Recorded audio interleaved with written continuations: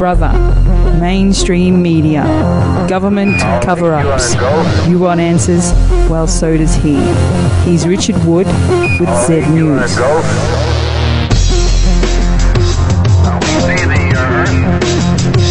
uh, got it.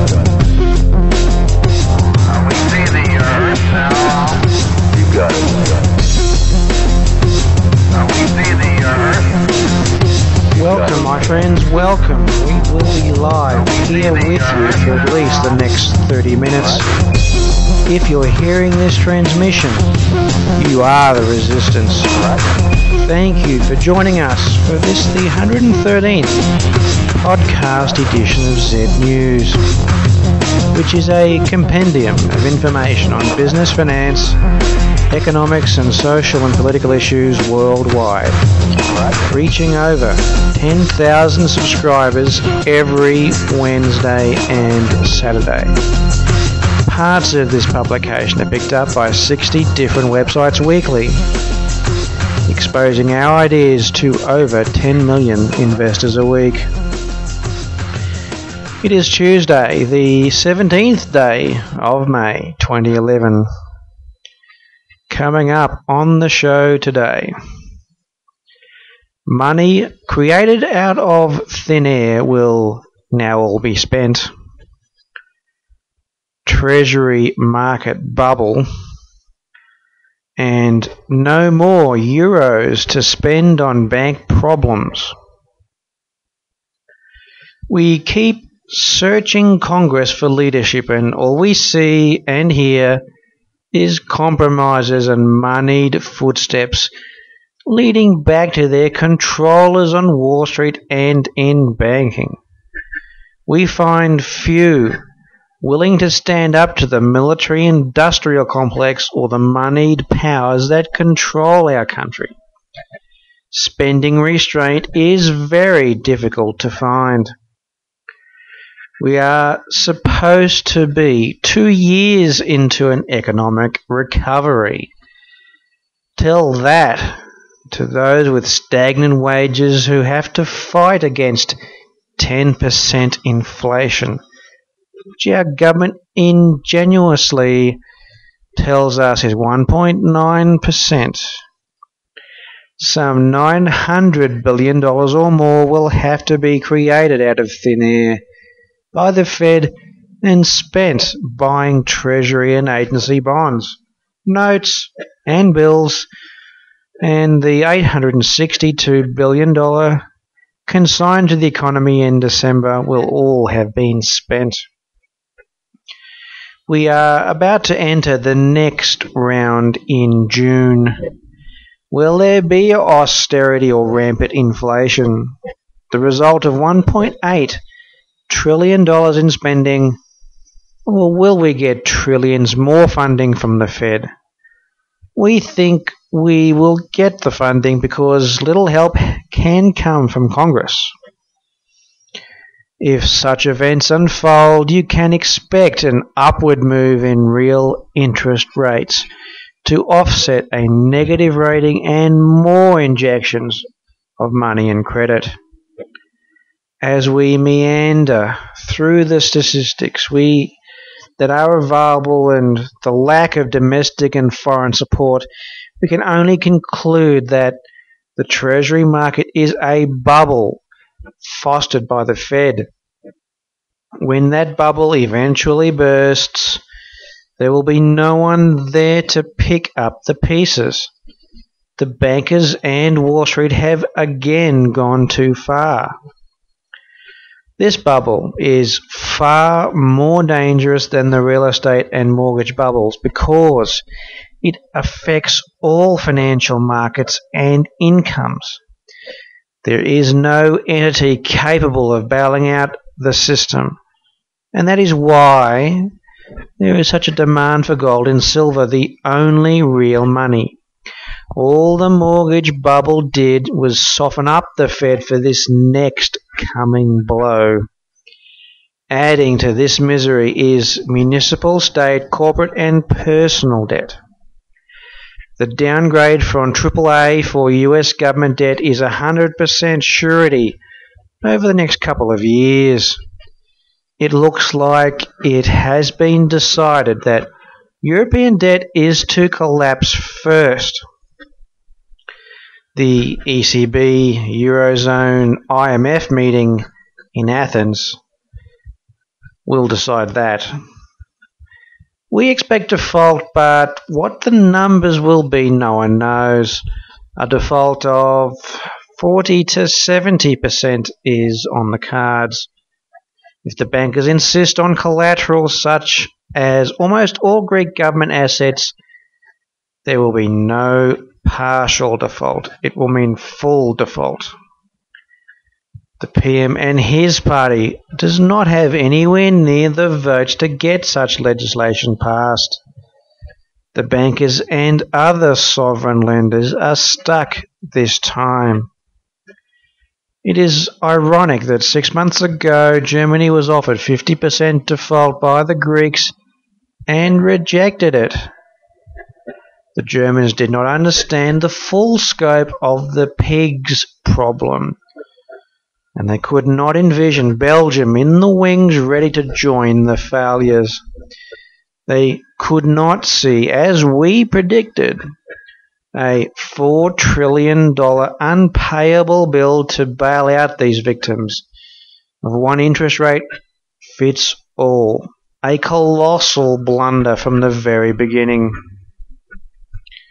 In anticipation of this, the bankers and others have mistakenly driven the euro to $1.48 and it may move higher because when the world sees Europe's terrible situation, the euro will fall and that will keep a USDX dollar at 72.9 from plunging to 71.18 at least temporarily. We do not believe Americans and most of Europe understand the impact of the European banking crisis. The meeting in Athens was to restructure Greek debt. Probably will trigger a EU-wide banking crisis, which we have been warning about for the past two years. We do not see Greeks, Irish, or Portuguese living in poverty for the next 50 years just to make sure the bankers get their money back, which the bankers created out of thin air. Greek debt to GDP is 150%, and no country has ever survived such debt. There has to be default. In the wings, Ireland, Portugal, and Spain are watching intently to see which way they should fall. On the other side of the debate, Germans and the Finns do not want to spend one more euro on this problem. Let them default and leave the euro. They should have never been in the euro in the first place. The EU is fighting with Ireland as well over corporate taxation.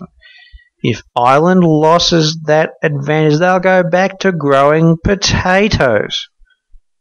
Greek Parliament will not accept more, more austerity. Ireland may walk away from bailing out the banks, and Portugal may just give up and default. Next week will be an exciting one that may change Europe forever. Both the European, Eurozone, and US banking systems are insolvent, and nothing can be done to save them. Both systems have to default. That is why we say sooner or later a meeting will be held where all currencies will be devalued and revalued, and there would be a multilateral default and debt settlement. It would also be an opportune time to implement a new world reserve currency or indexed trading unit which, in order to be acceptable, would have to contain a 25% gold backing, which would force other currencies to adopt gold backing as well. The new setting for an official gold price would be at a level four to five times today's levels. Incidentally, it has been found historically that a bimetallic standard does not work.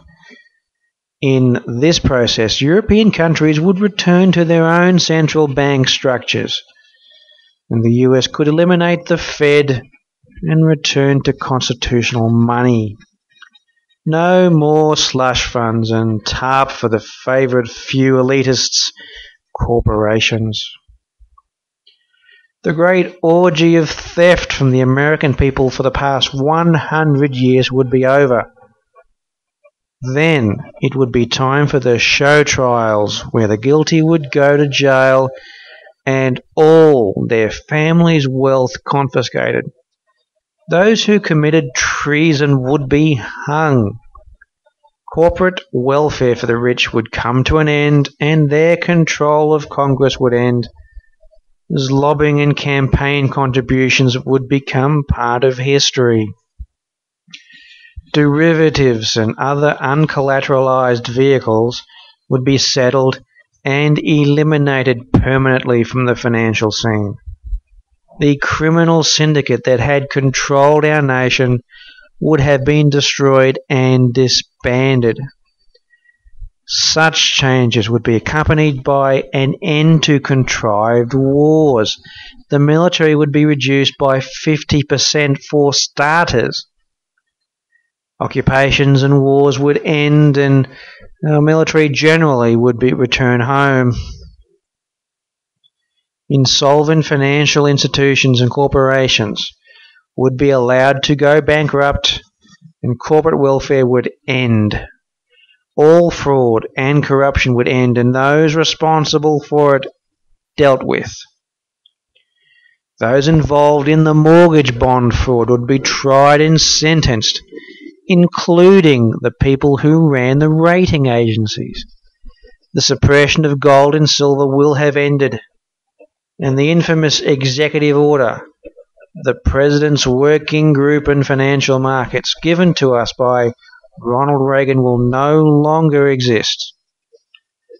Confidence continues to wane in the monetary systems of the world, particularly of those in the US, UK, and Europe. As we have seen, low interest rates and vast amounts of money and credit have not been able to reignite the credit cycle. These deceptions cannot hide the fact that fiat currencies do not work. The absence of gold backing becomes more glaring each day. The 23 year war to suppress gold has not worked. The effort becomes more obvious as gold and silver rise higher and higher in spite of government sponsored manipulation. This is not the first time the elitists have deliberately destroyed their own system in order to exert more power over the people, and in this case, implement world government. What the elitists have proven, much to their dismay, is that gold has to be at the heart of any monetary system, and that this dream of engineering a world of fiat currency simply does not and will not work. People worldwide are starting to discover that, and the fact that some central banks, like those in the US and UK, are privately owned and only act in their owner's self interest. For 28 months, the owners of the Fed have chosen to keep interest rates near zero. That level has been wonderful for bonds, stocks, and speculation. They have kept bank leverage at an all time high so that those financial institutions can try to fatten their bottom lines. As a consequence, the economy and the world has been subjected to overwhelming excess liquidity at higher business levels. As a result, this asset bubble has created much higher inflation, and as QE3 becomes obvious, two and a half to three years down the line, we could well be wallowing in hyperinflation. Another result of such policies is higher permanent unemployment. There has been no effort at all to remedy unemployment nor for that matter inflation as well. If inflation were to be kept low, interest rates would be considerably higher. They will rise, but not in any meaningful way for a few years. Price inflation is already with us. and the real rate is close to 10%. Our prediction of 14% by the end of 2011 now appears to be very conservative. Of course, the Fed tells us there is little inflation among many other lies they foist upon the public. Mr. Bernanke doesn't relate that almost zero interest rates and quantitative easing are largely responsible for current high inflation. He also does not discuss how the Fed's policies, really those of banking and Wall Street, have caused gas prices to rise and real sales to rise. They are further manifestations of monetary policy gone wild. Fed, Wall Street's Fed man Bernanke doesn't like to talk about wages moving higher to offset inflation because those higher wages are inflationary. He wants them to remain where they are and could care less about the purchasing power of consumers. The idea is to keep the economy afloat and not really worry about wages and inflation. Not unless it is too low. Like wages and inflation, food and fuel costs are not transitory. They'll rise and stay high for three to five more years. The President's answer is an oil and gas price fraud working group to track down miscreants who harm consumers. We have for many years said economists and analysts are correct one third of the time. The reason for that is if they write or speak the truth, they will get fired. They are called many things uncomplimentary, and they deserve that for not speaking out and telling the truth. We can also lump in that group newsletter writers, but their problem is incompetence, lack of historical knowledge, lack of experience in the stock market or commodity market as a professional. People who have not been on the firing line day after day cannot understand what it is like to be fired upon. In order to understand foreign markets, you have to have lived within those cultures and understand how different people think. Very few have prepared themselves to do the job as they should do to get the best results. Then there are the elitists behind the scenes who not only have a profit agenda but a social and political agenda as well. As a result of these machinations, look where Greece and Ireland are today. Their leadership, the Bilderbergs, all sold out their people to accommodate the bankers they force the public to assume the bankers' bad debts. These are the same bankers that are destroying the financial and economic system. They have overwhelmed the system with fraud and criminality, and because they are illuminists, They are never prosecuted. The Treasury Department on Friday proposed an exemption for the multi trillion foreign exchange swap market from new post financial crisis rules. The department insisted that imposing new regulations on the market would have, quote, serious negative economic consequences, end quote.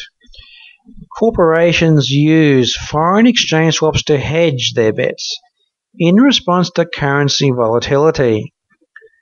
Without an exemption, foreign exchange swap transactions would need to take place on trading platforms where the terms of the deals would be made public. The deals would also have to take place through clearinghouses which are capitalized intermediaries between buyers and sellers.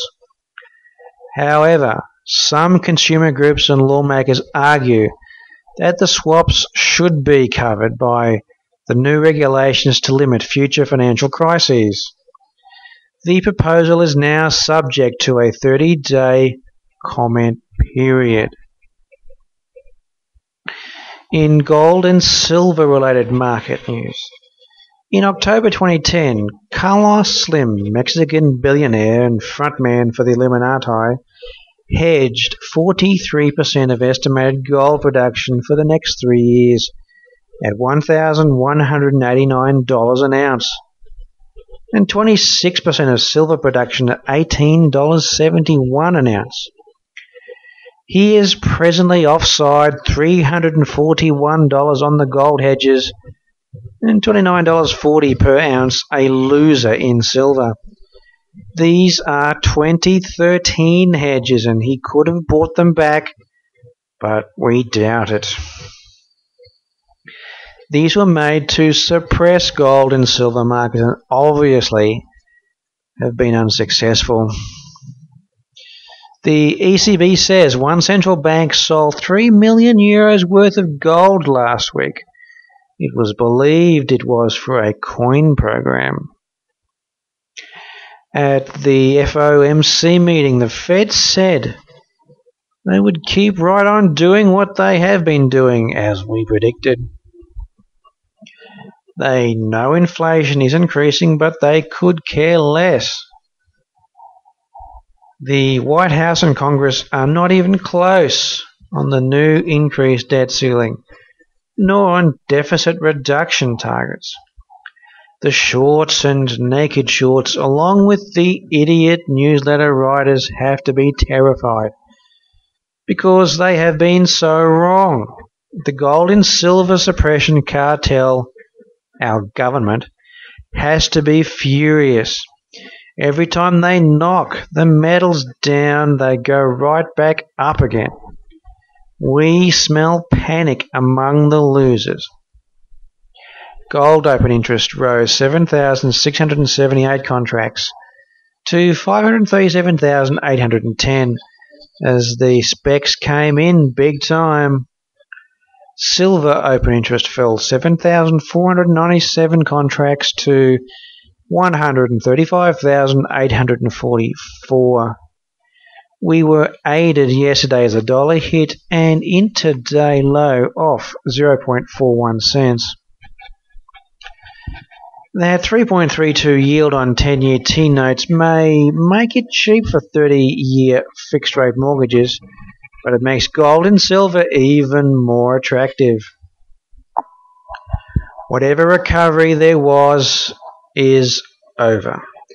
Joblessness is moving back up again even as QE2 and Stimulus 2 blossoms. It has been so good that GDP rose only 1.8% in the first quarter after spending $1.8 trillion. This is hardly an ample reward. Wages are stagnant and inflation rages. Anyone who believes 216,000 jobs were created in March and unemployment is 8.8% needs counselling. We smell stagflation and it is going to get painful. That 1.8% GDP growth in the first quarter was half of 2% in the employees' social security payments. Personal consumption rose only 2.7%. Incidentally, Walmart says shoppers are running out of money. Food and energy prices and inflation are not transitory. They'll be with us for some time to come. Yesterday, early we saw gold trade up to plus $6.20 on the COMEX opening. The silver rose $1.37 and most of the early hours were like that. The gold commitment of traders or the COT commercials increased longs by 930 and in silver they cut short positions by 6,718 contracts. The XAU rose 1.83 and the HUI rose 9.70, most of which was due to Agnico Eagle Mines and Goldcorp. Speaking of which, Agnico Eagle Mines rose 2.96% or by $2. Goldcorp rose 1.44% or by 79 cents. Silver Standard Resources fell 0.09% or by 3 cents. Minefinders rose 0.24% or by 4 cents. And Pretium Resources was unchanged. As I mentioned before, the 10 year T bill yielded 3.32%. The yen rose 0.57 cents, the euro fell 0.04 cents, the pound rose 0.60 cents, the Swiss franc rose 0.99 cents, and the Canadian dollar rose 0.57 cents. The USDX continues to fall 0.10 cents. Oil rose 85 cents, gas rose 3 cents, and natural gas rose 10 cents. Copper fell 8 cents.